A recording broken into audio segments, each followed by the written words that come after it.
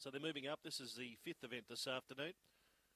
Picogram, the best backed off the inside box here. And last couple loading away. Green lights on. Here comes the lure, ready for action.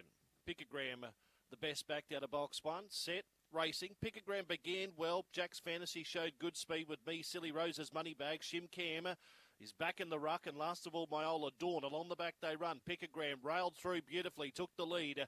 Jack's Fantasy to second, then me, Silly, and Shimcam running on out wider. Rose's money bag and Myola Dawn up to the corner. Picogram in front, trying to kick Picogram into the win. Picogram from Jack's Fantasy. Third, I reckon, Shimcam in front of me, Silly.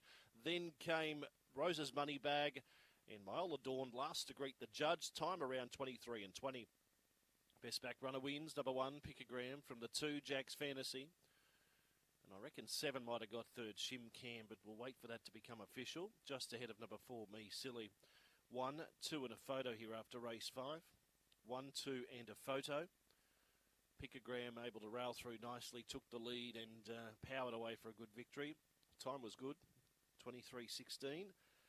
And uh, numbers now going into the frame. One, two, seven and four will be officially fourth. One, two, seven, and four after the running of race number five this afternoon.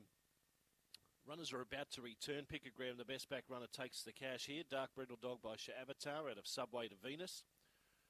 Raced by Archini S. Kerr and was trained by Nicole Stanley. Second went to number two. That was Jack's Fantasy for